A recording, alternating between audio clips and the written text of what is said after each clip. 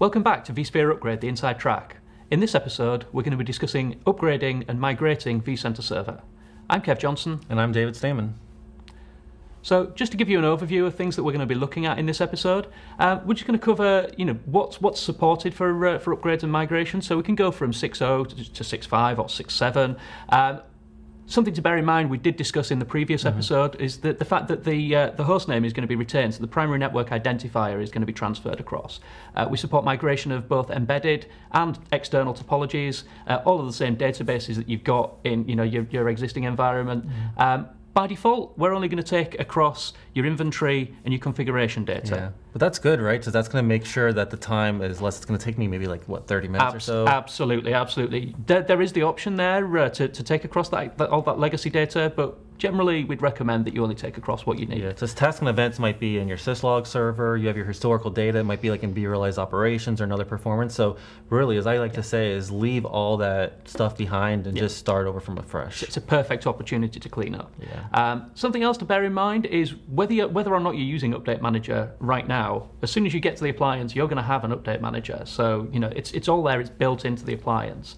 Um, we've got a migration assistant. It's going to run some pre-checks. It's going to make sure everything's good, and we've got a super easy rollback as well. We do yeah. have a very easy rollback, right? Cool. If you have any issues, you just shut down the brand new appliance, power back on the original one, rejoin it to the domain, and you're ready to go. And, Absolutely. And that's like the best part of the new migration, right?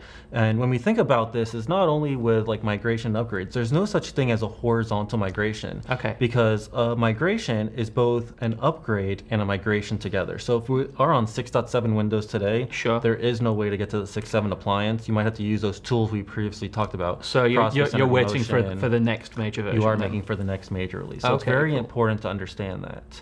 But when we do think about migrations, we actually have this migration assistant. It mm-hmm. exists on the vCenter server appliance ISO, mm-hmm. and you need to copy over this folder or run it from your Windows-based vCenter, okay. or even your platform services controller. So, so you just you just run it, it does some things, and then you just close that window, yeah? No, don't close it. It needs oh. to stay oh. running the entire time. And oh. so it's going to do some pre-checks. It's going to check for now. things such as DNS and NTP, what's installed, right? Maybe you forgot the Composer service that's installed there. We're going to highlight some of those things. Okay. Make sure things are compatible.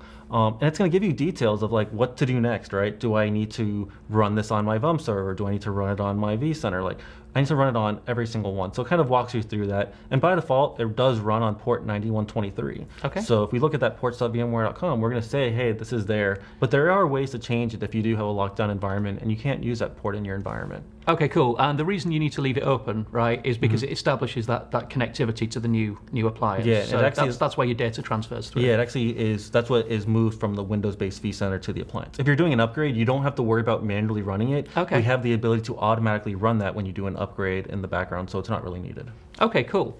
So um, the, the, the, actual upgrade process, what we're going to do is we, we mount our VCSA ISO file, mm-hmm. and um, we, we get these options. We, we can either install, upgrade, migrate, or we can even do a, a restore from a yes. file-based backup.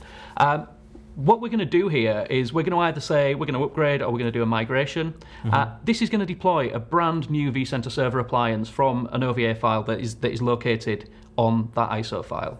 Uh, it's going to deploy, it's going to require a temporary IP address, and that temporary IP address must have connectivity back to your source vCenter server. What happens if I have like four vCenters? Do I need four temporary IPs? Well, it depends on you know how you, uh, you what, what are you doing? You're doing one one migration at a time. No. We can, we can, we can talk about um, you know the CLI capabilities and things mm-hmm. like that, so we can do batch migrations and things okay. a little later. Um, but yeah, so we're going to deploy an, an appliance, um, and if, if we need to join it to Active Directory, we're going to need an account to do okay. that with, with privileges there.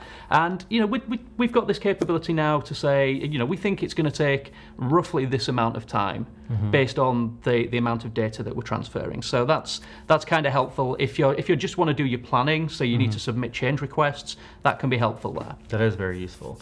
And really is we do have the UI method, which a lot of customers are aware about. But mm-hmm. a little known thing that not many people know about is the CLI installer. Sure. This was first introduced in 6.5, and we even enhanced it more in 6.7. But it exists on the appliance ISO. There's a folder right next to the UI installer called CLI installer. Mm-hmm. There's going to be a folder for the templates because we have these JSON-based templates that we need to fill out with the information for the appliances we're doing. And it's beneficial to know that not only can I do these for upgrades and migrations, mm-hmm. but also installations. And one of the my favorite features about this is we may not have test environments, right? Is We all say have test environments. It's called production. Some of us have separate production environments. Yeah. And so what this allows us to actually do is run a pre-check against the environment, which will do a complete dry run of the upgrade without mm-hmm. actually impacting production. So that's really good to know is that I size it right, that I put the right usernames, the right passwords, is is it can actually deploy successfully without having to worry about rolling back. So I really like this tool. And one enhancement in 6.7 is what we call batch mode. Instead of actually only doing one appliance at a time, we can actually build multiple JSON files together, No way. put them in a folder, and we can set it and forget it. Oh man, that sounds it. awesome. So, you're deploying really a cool. lab and you need to deploy 10 vCenter servers. You can Do that sounds, automatically. That sounds super cool. Yeah, we have a lot of resources on um, where we have those guided walkthroughs um, Sure. where we can go through. Cool. And one of the other things I like about that is, you know, you, you can you can store those in version control. So you're making Yeah. changes. You can prove all the things that you've all the changes you've made. Yeah. And I think that about wraps us up with vCenter Yeah. Server. So that was super simple. Yeah. Um, so thanks very much for joining us. Uh, please join us next time where we'll be talking about upgrading ESXi hosts, VMware tools, and VM compatibility. As always, for more information, please visit vspherecentral.vmware.com. Thanks for joining us. Thanks.